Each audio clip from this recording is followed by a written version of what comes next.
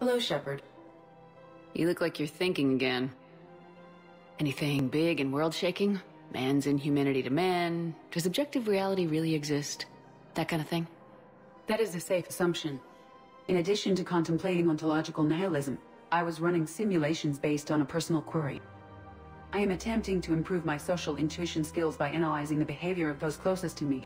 When you are sexually interested in another, what kind of advances do you make? Uh, you know, there are the, uh, um... Why do you want to know? Assistance in developing my social skills. Additionally, I wish to explore my sense of self. Would it help to know that this query involves you?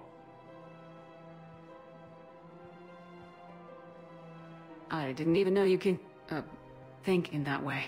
Shepard, I am not propositioning you. I am looking out for the welfare of the crew. Through understanding your approach to romance, I may answer a question regarding my self-determination. Are you saying you want to... I am considering facilitating one. Human culture overwhelmingly suggests romance as the most efficient way to self-define. You shouldn't get involved with someone just to understand yourself better, EDI. It's about the other person as much as it is about you.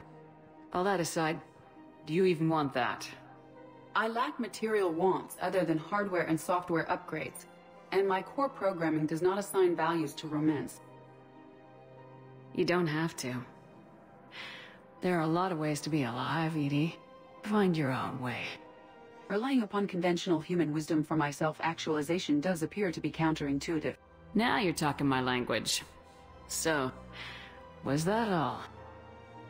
I was running scenarios in my head to analyze Jeff's behavior. Shepard, Jeff is often outspoken with his thoughts on others. However, not with his thoughts about you.